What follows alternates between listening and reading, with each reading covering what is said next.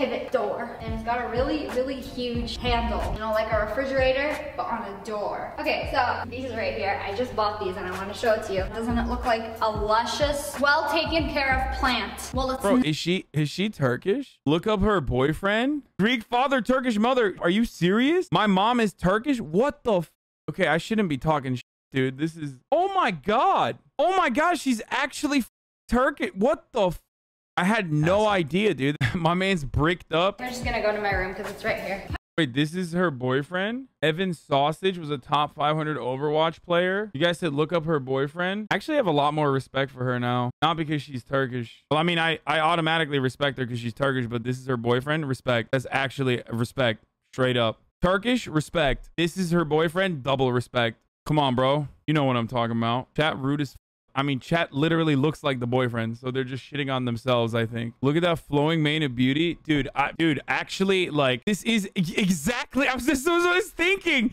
This is the e girl with the podcaster boyfriend meme, dude. Literally, every Brooklyn podcaster looks like this, and this is their e girl OnlyFans girlfriend. Not saying that she has one, but you know, even though there's no problem with OnlyFans, obviously. Bro, that's hilarious. You have to respect that. A lot of people say that she is with her boyfriend so she can feel better about herself because he isn't as good looking. Yeah, a lot of people are dickheads on the internet. How about he's a cool person? Who knows? Her sister has an OnlyFans. Oh my god, her sister is like her sister looks more Turkish than she does. Hey, if you like this video, please subscribe and hit that bell so you don't miss out on any future videos.